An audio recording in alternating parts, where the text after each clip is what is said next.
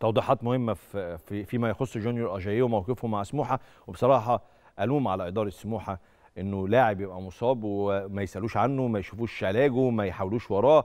ولاعب أجنبي ولاعب له صولات وجولات في الكرة المصرية طبعا مع النادي الأهلي.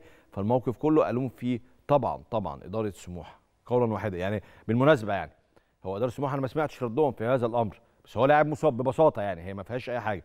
لاعب مصاب يتعالج بقى وبعد ما يتعالج مثلا كان الراجل ما أصل هو هيبقى عمل إيه مشكلة؟ يعني ممكن تتخيل جونيور اجاي عمل إيه مشكلة وهو مصاب مثلا؟ راجل مصاب ولسه في إصابة في رجله. يتعالج يا جماعة بسيطة يعني. أدام أنت بتجيب لاعب محترف أنت مت... لاعب محترف أو مش لاعب محترف أنت متكفل بعلاج اللعيب بتاعك للنهاية يعني للنهاية.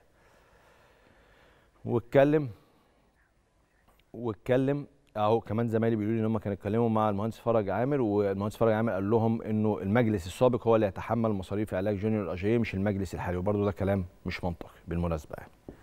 دي جزئية. اتكلم أيضا كمان أستاذ حازم فتوح وكيل اللاعبين عن موقف أيمن أشرف. كلام كتير عن مفاوضات بينه وبين نادي الزمالك وإنه ينتقل للزمالك الموسم القادم. هو نفى هذا الأمر جملة وتفصيلا وقال إن كل العروض أو كل الشغل اللي بيشتغله لأيمن أشرف هو خارج مصر مش في مصر خالص. وقال نفس الأمر بالنسبة لرامي ربيعة.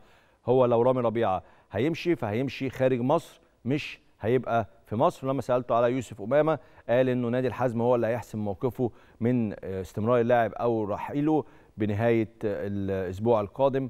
هيشوف بعد كده هيقدروا يعملوا إيه بالنسبة ليوسف أمامة. هل يعود لنادي الزمالك أم يستمر في السعودية؟